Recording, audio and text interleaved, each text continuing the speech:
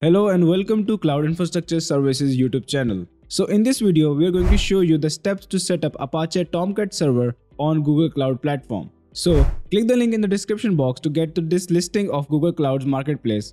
And from here, you want to create a new virtual machine with this image installed inside it. So simply click on launch. And then from this page, you can customize your virtual machine. So give the name that you want, choose the region that you want. I am going to go with Europe Scroll down, choose the size that you require, scroll down even more, click on accept the agreement and click on deploy. And then you need to wait for a little while for this virtual machine to be deployed. And while we are waiting, click the link in the description box to get to this blog post which is a step-by-step -step guide on how to set up Apache Tomcat on Linux in Azure, AWS and GCP. And once the deployment is complete, you can access the SSH terminal using this button that says SSH and then you would have to wait for a little while for this terminal to connect to the SSH terminal of the virtual machine. And while we are waiting, go back to your Google Cloud, click on this hamburger icon, scroll down, go to compute engine and go to VM instances. And then scroll right and copy your external IP, open a new tab, paste your IP and hit enter. But make sure to add in the port number 8080 because Tomcat Apache listens on port number 8080, 8443 and 8009. Now as you can see our Apache Tomcat is up and running on a Google Cloud virtual machine. But there is a slight problem.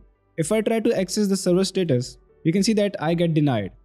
And if I try to access the manager app or the host manager, my access gets denied. That is because we need to set the rules for Tomcat users and then we need to set the portal or the remote IP for accessing this particular manager app. So head over to your SSH terminal.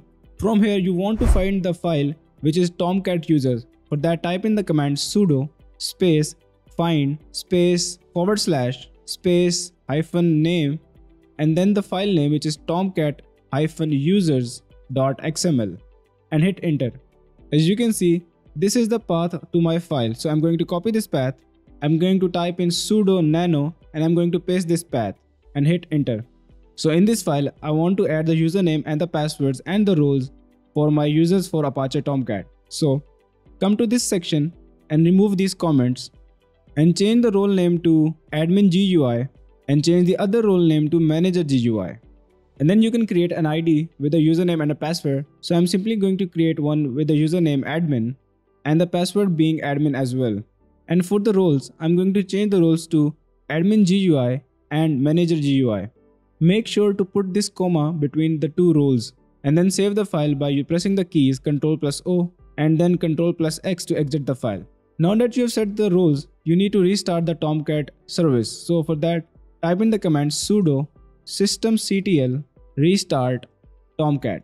Now you want to change the IP address from where you can access this manager app. For that we need to find the context files. So type in the command sudo find forward slash hyphen name context.xml and then hit enter.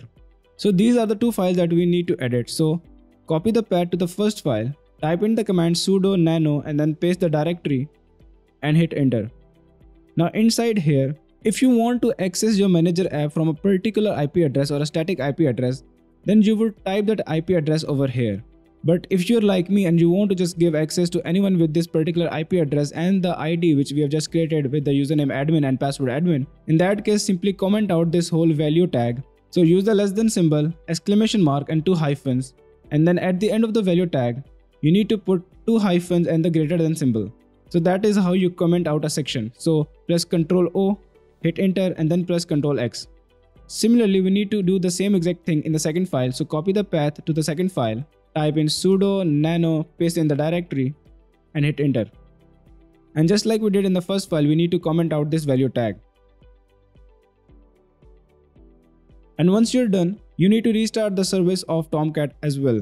So type in the command sudo systemctl restart tomcat and hit enter. After the system services have been restarted, you can go back to your server, hit refresh and then click on either the server status app, manager app or the host manager. So I'm simply going to click on server status and as you can see, it is asking for the username and the password. So I'm going to type in my username which was admin and the password which was also admin. And after typing in the password, you can see that I'm able to log into my status page. Similarly, if I go back to the dashboard and click on host manager, it is going to ask me for the password and the username. So I'm going to type that in, hit enter, and you can see that I'm able to access the virtual host manager. So that is how you set up the Apache Tomcat on Google Cloud Platform. So if you have any queries regarding this tutorial, leave them in the comment box. And if this video has helped you in any way, so leave a like and subscribe to the channel. And make sure to visit the links in the description box to come to the listing of the marketplace or to visit the blog post which is a step-by-step -step guide on how to set up Apache Tomcat on Google Cloud, AWS and Azure.